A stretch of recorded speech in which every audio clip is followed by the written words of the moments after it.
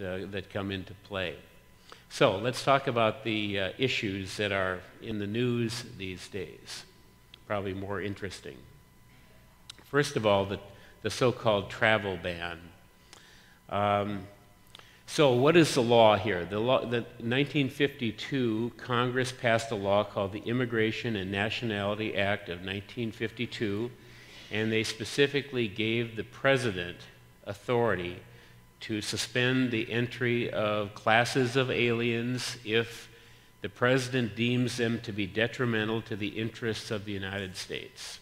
A clear delegation of power from the Congress, which remember, under the Constitution, the Congress has the power to determine immigration laws and policy for the country.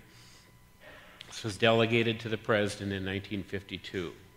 In the Immigration and Nationality Act of 1965, there were provisions added that said that a president, in determining policy like this, uh, could not discriminate in any way on the basis of race or gender or nationality, place of birth, and place of residence. So, President Trump, after uh, taking office, issued, started issuing executive orders. There were three in all, each one a little bit more narrow, uh, and causing a lot of uh, confusion in the application. Uh, the third one, which is narrower, narrower, eliminated some of the confusion and it applied to citizens from Iran, Libya, Somalia, Syria, and Yemen. And it uh, restricted entry. It actually imposed a, a delay of up to 90 days in approving any kind of entry from for citizens from that country so that those countries so that they could be investigated. But the issue in the cases that evolved, uh, all three of the executive orders were blocked uh, at some stage of the, the process by uh, federal judges. But the issue in the case was whether President Trump's many statements concerning his desire to impose a Muslim ban and only allow Christians into the country uh, indicate that the real reason here was discrimination or a uh, violation of the uh, First Amendment Establishment of Religion Clause. Well, uh, although the executive orders were, were mostly stopped uh, in the lower court, uh, the Supreme Court did rule earlier this year in a 5 to 4 decision, very close decision, that the president did have sufficient power to secure the borders as delegated by the Congress, and that there was no um, discrimination involved. The case is Trump versus Hawaii, so that issue was resolved. It's a much more narrow version than the first one that uh, the president signed back in uh, the early days of his administration. The second issue, uh, border enforcement. Um, the, the wall issue is involved here in the Mexican border. Uh, there's also a lot of additional personnel that have been sent to our southwest border uh, to help protect against unauthorized immigration. There is a 1,933 mile border with the country of Mexico. It includes mountainous territory and includes, uh, for long stretches, the Rio Grande River. No one can say for sure uh, how many undocumented people cross the border each year. Uh, we don't have an accurate count. They don't stop to tally up along the way. Many come here through the work of smugglers that uh, charge an incredible amount of money to uh, bring people illegally into the United States. Um, you know, we have, we have had uh, periods of time where there have been a lot more people coming across that southwest border than is the case today. Uh, from available numbers uh, from the mid 1980s to the mid 2000s, the government reported apprehending 1 million to 1.6 million foreigners each year who uh, tried to get through the southwestern border. These are the ones who are apprehended. Uh, in the year 2000, for example, there was a, they reported between 71,000 and 220,000 were being apprehended each month coming across the border. Uh, known border crossings this year, known border crossings are somewhere between 20,000 and 40,000 a month. But the number of people apprehended or turned away over the years has fallen. The peak was in 2014. 2017, there actually were relatively few compared with the numbers of the past. There was a jump up this year, uh, in May, for example, there were over 51,000 people who were stopped at the border, but there had only been about 19,000 the year before. Um, I think illegal or undocumented immigration has a lot to do with instability in the Central American countries. Uh, Guatemala, Honduras, Nicaragua, those countries are all uh, relatively uh, unstable right now, and that has caused a lot of people to leave. Um, you know, if, if you've been here before and been deported, which happens if you commit a serious crime, you're deported, uh, and then you come back, just the act of crossing the border is a felony. It's called illegal reentry of uh, a, an alien who has been deported. And we have quite a few of those cases in our court uh, each year. Uh, but just crossing the border, uh, if you don't have a restriction on your entry into the United States, is, can be uh, classified as a misdemeanor. Talk a little bit more about that in a moment. So let's talk about the wall for a second. We already have a 655 mi 654 mile barrier uh, that imposes a wall of some kind. There's 407 miles of that have a secondary uh, wall as well. The cost of putting a wall along the entire border is difficult to do where the river uh, is the border, but the president says it's a $12 billion cost. That doesn't include, and the administration says it does not include the cost of towers, additional personnel, secondary buildings that will have to be built uh, to uh, handle uh, the flow of people. Um, so the best estimate right now, and it's only an estimate, is that the entire process would probably cost about $33 billion. Um, and that's an estimate because a lot of the area, as I said, is mountainous, and it's hard to build walls across mountains. And you really can't uh, move the wall to a different area because people then already would be in the United States, and that poses problems. So that's where that issue stands. Only planning money uh, has been uh, granted so far for the president. So the third issue I wanted to raise is this policy of separating families at the border, which has been highly controversial. The administration started this relatively early. It was only this last spring that it, it, kind of exploded into public view when the Attorney General announced a zero tolerance policy for uh, immigrants who are coming across the border. Again, it's hard to find all of the facts. No one is very clear about the facts. It's kind of a mess. Uh, we know that there are many inter, uh, immediate detention facilities along the border. Uh, people are not supposed to be held there for more than three days before they appear before a judge.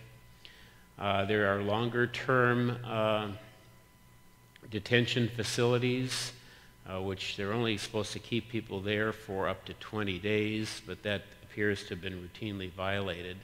That's where unaccompanied children are taken. Uh, part of the problem here is that they have parents who are put into ICE custody. Children are not placed into ICE custody. They're placed into the custody of a different department, the Department of Human Services the Office of Refugee Resettlement, which is part of DHS. So that's part of the issue.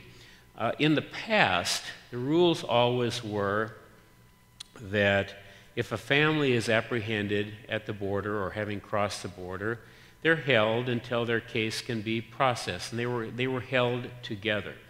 Again, this policy of not separating families. Many are asylum seekers and they have a right under United States law to have their case processed before immigration judges. Uh, some are, in the past, some were held, some families were held, some were allowed into the United States, and then they have to appear for court. Some were placed under supervision with ankle bracelets or something. Uh, others were allowed to be in the United States until their case could be processed through an immigration judge to see whether it was true that they had a legitimate fear of persecution and therefore uh, could have a right to be granted asylum by the United States government. So, uh, if a minor comes by themselves, which happens quite often, uh, they are placed into this resettlement program. There are foster uh, families all across the United States where minors go to. Some minors separated from families have apparently been placed into that program already, uh, even though the family is still either at the border or has been deported. What changed about this policy was that this administration decided to charge people with a, the crime of illegal entry into the United States. That typically hasn't been done in the past. It's simply a misdemeanor. Um, but the decision to charge them then led them to apply the policy, which is always the policy. If you're charged with a crime, you're jailed, but you're not jailed, jailed with your kids. You're separated from your children when you are jailed uh, when you're charged with a crime. And so that's what they used as a reason to separate the families until this got so much attention. Uh, and there's a big court case in, in uh, Los Angeles that's addressing this that the American Civil Liberties Union has brought. Uh, but they backtracked on that policy this spring. But whether they really have or not is a subject of great debate right now, and no one really knows for sure how far of a backtracking they've done and there are many children that are still uh, separated by, uh, from their families. There are uh, new uh, sort of, they almost look like little tent cities uh, set up along the border uh, by government contractors who are making quite a bit of money holding either families or children or separated adults as well.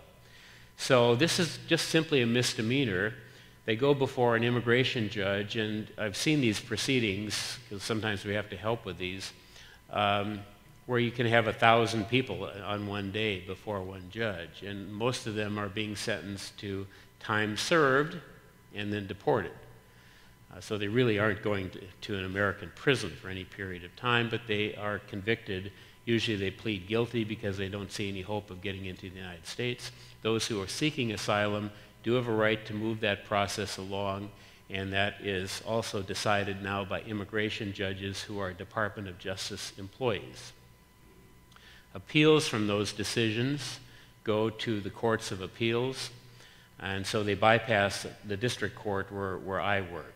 Uh, sometimes we hear these cases, but only if someone has the wherewithal to file a motion for a writ of habeas corpus, which you can always do in the district court to challenge your detention.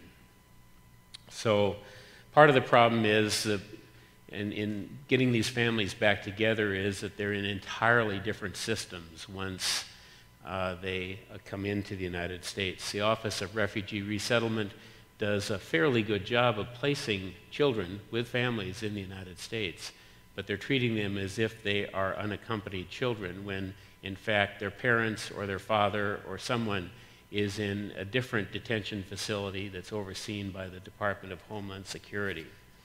It is, uh, it's kind of a mess right now. And uh, it's hard to really figure out exactly what's going on. Many are trying to figure that out. Uh, it's being addressed in uh, court, and uh, we'll see where that, that all goes.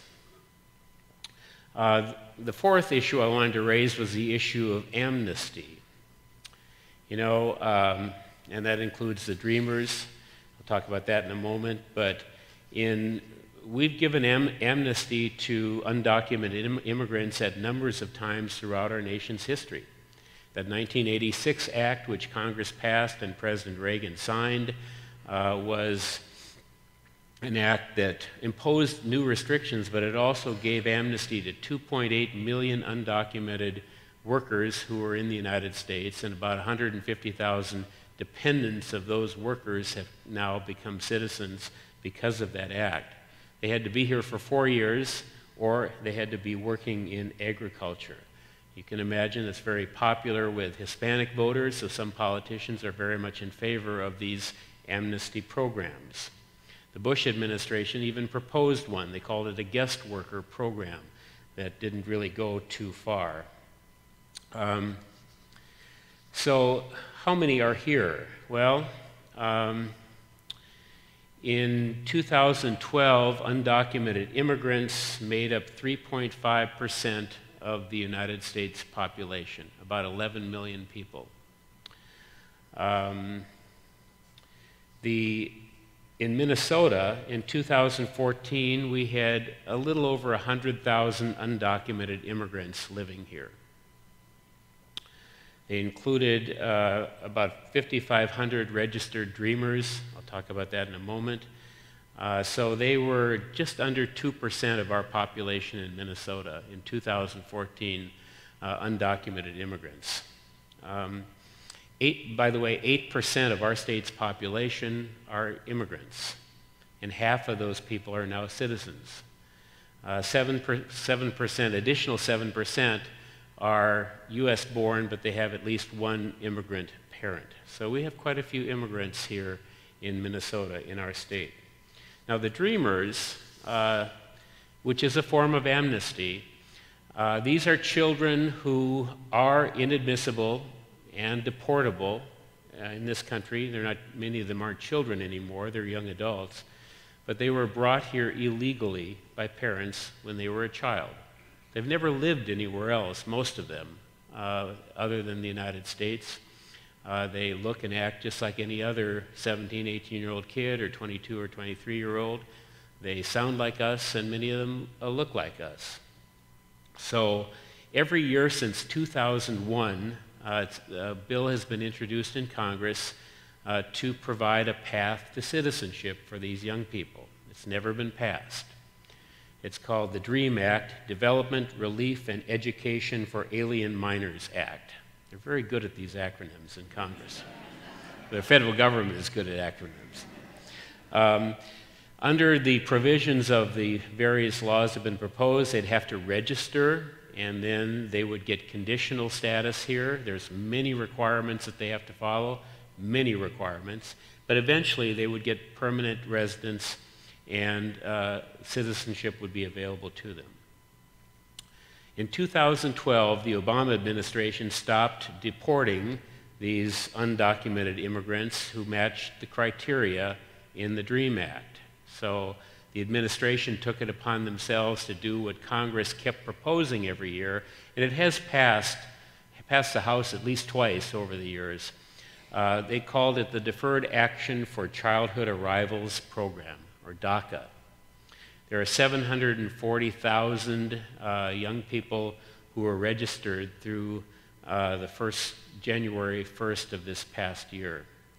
Uh, one year ago, September 5th last year, the Trump administration rescinded the program. So we have all these registered people who now are subject technically to deportation uh, because uh, there's no path for them to uh, become citizens anymore because of the program.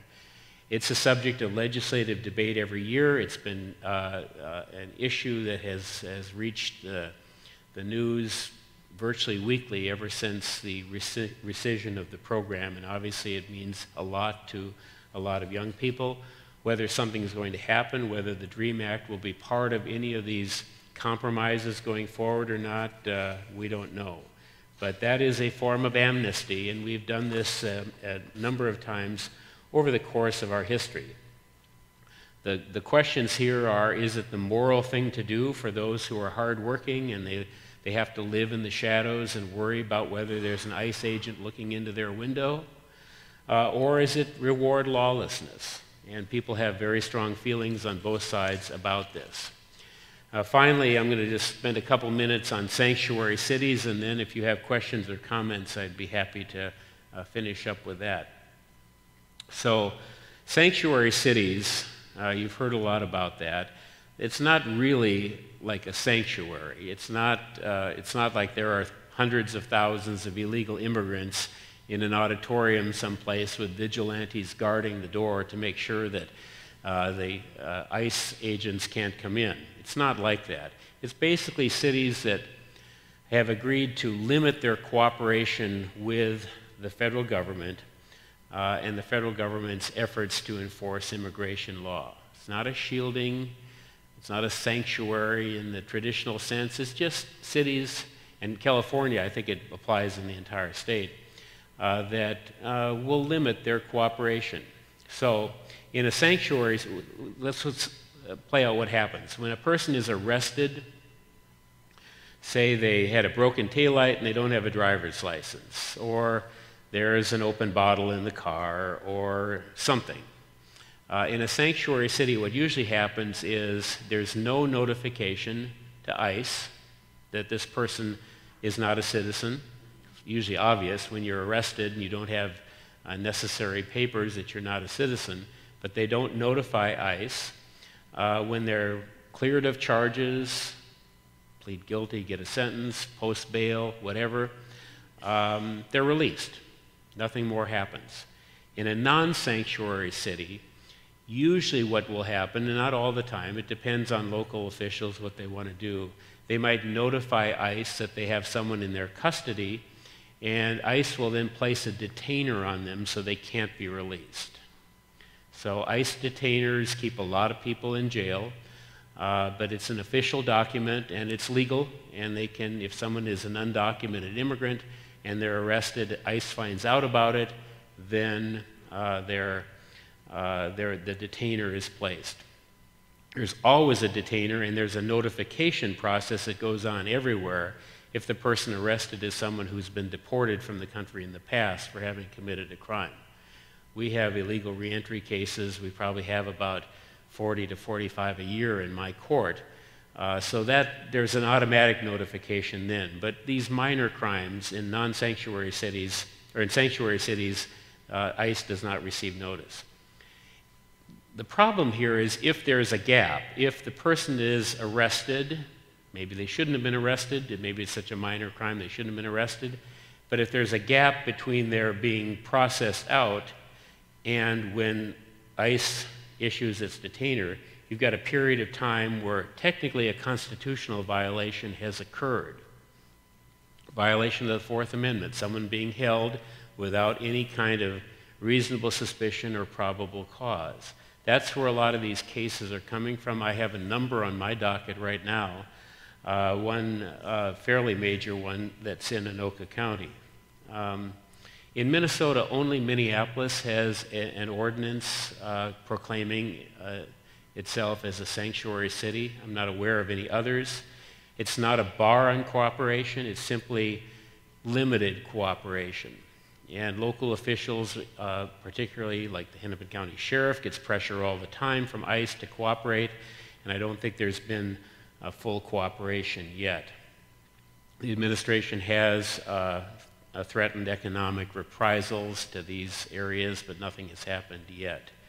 Um, so the issue keeps coming up of whether local law enforcement can stop people to uh, check their immigration status. They were routinely doing that in Arizona a while back and got the sheriff, Sheriff Joe, whatever his name is, in big trouble.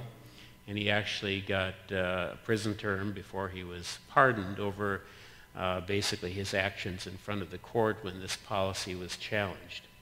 Under the Fourth Amendment, everyone has a right to the protection of the United States Constitution, even if you're an undocumented immigrant. It applies to you if you're in the United States. And so you have to have reasonable suspicion of a violation of law before you can stop someone. And therefore, simply stopping someone on the street to check out whether they're uh, an illegal immigrant or not um, really falls afoul of the Fourth Amendment. The law is confusing in this area, it's developing significantly, and ultimately, I suppose the Supreme Court will tell us just how far local law enforcement can go. Uh, but it's a bit of a tussle right now between local authorities and cities and the federal government, which of course wants all the help that uh, they can get. So that's the sanctuary cities issue. I think I'm getting close to the end of my time, uh, and you don't want to go over the time with the pastor sitting close to the front row. but, but I'd be happy to answer any questions or uh, if you have comments, that'd be fine too. Jerry, back here. Oh, there's one. There's, I think I can be heard. Um, the, the tens of thousands of people that are coming illegally over the border, not through, um, immigration, not through centers, like border checkpoints and Yeah. things. What in the American law is it that prevents us from just finding out, have no, no identification and nothing, from just turning them right around and sending them back?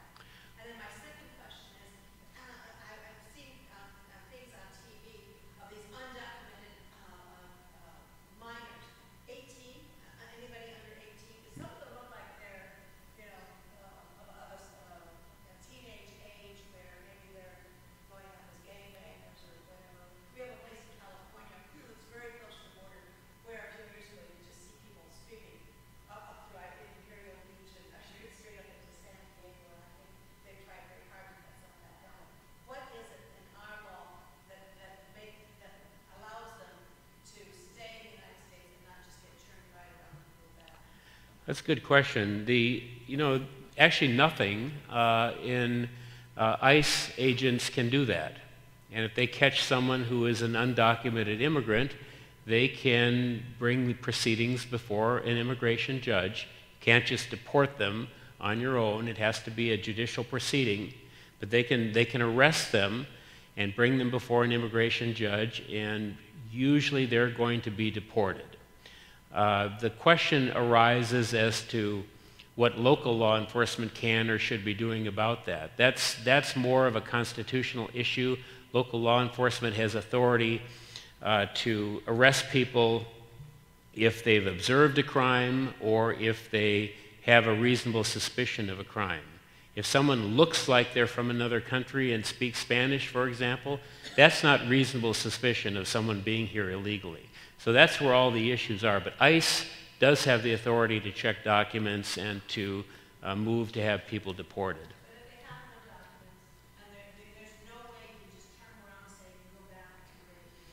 Well, a lot of, a lot of them get very, um, very adept at figuring out. A lot of them get fake documents.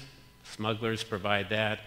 Sometimes it's very, very difficult. If they don't have documents with them, like I don't have my birth certificate with me, so I don't, don't carry it with me.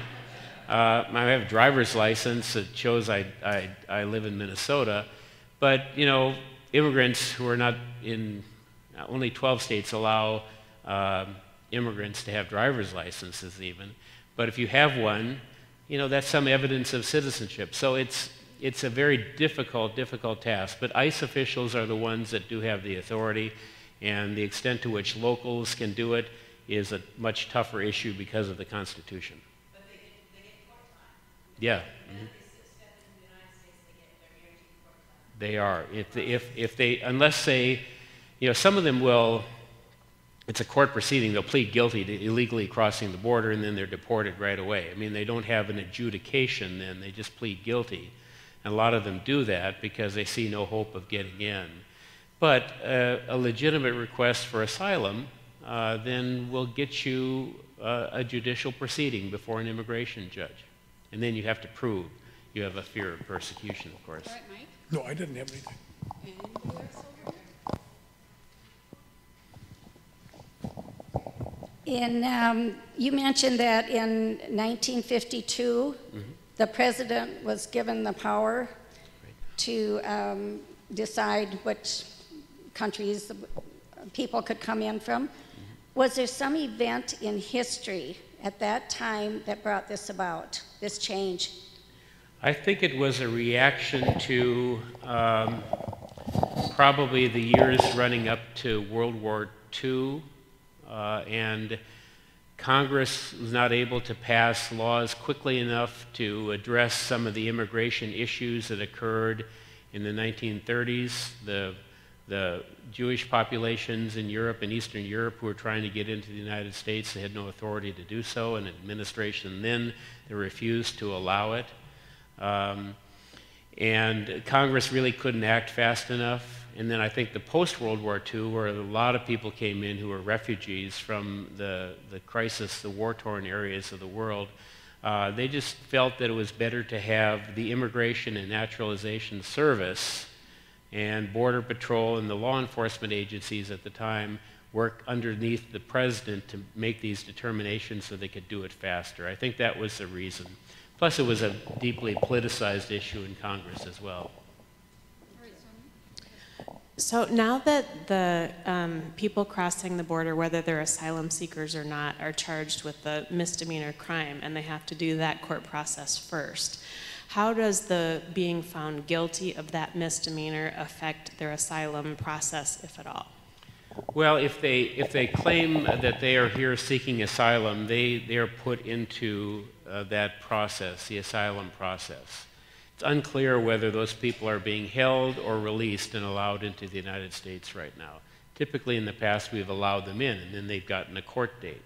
Uh, but a lot of them, a lot of people coming across the border really don't know what their rights are. They're fleeing a horrible situation at home. A lot of them are trying to avoid being killed, actually, by the, you know, the gang warfare and uh, the government instability of Central America, and they don't really know their rights. And that, you know, there are lawyers there at the border who are trying to help, but it's a messy situation because there's a lot of people there. When you think about even 20 or 25,000 people coming in a month, that's hard to handle. Uh, so usually they're allowed to go into the asylum process, and the question of whether they're being held or released is one that's not really clear right now to most. Yes, the uh, so-called dreamers, assuming they have a job here, are they paying taxes? Uh, Do they get health benefits? Can they get a driver's license? Well, under, we, don't have a Dreamers program right now, but those 550, 570,000 or so that did register, there was a set of things that they had to do. They had to be working or be a student. Um, they had to uh, not commit a crime. Uh, they were eligible for benefits to a certain extent, probably not the extent that someone who's a citizen is, but they had a certain level of rights. But it's really a path toward, after a period of time, uh, being given a green card and permanent residency, which you have to have in order to then apply for citizenship. Um, but now the system is not in place anymore. There's, they're registered, but they're not really having to follow any rules, so I'm not really sure what's happening, and I don't think anyone really knows what's happening with them. Thank you so much. This right. was uh, incredible. I want to say that we will continue the immigration um, conversation on September 30th when we have Manuel Bojorquez from CBS News, who is an immigrant himself and uh, covers the border and many other things. And hope you can join us next week, where we'll have uh, Paul Douglas and Jordana Green here, and we'll talk about their work and how they keep uh, faith as a part of their day. Thank you.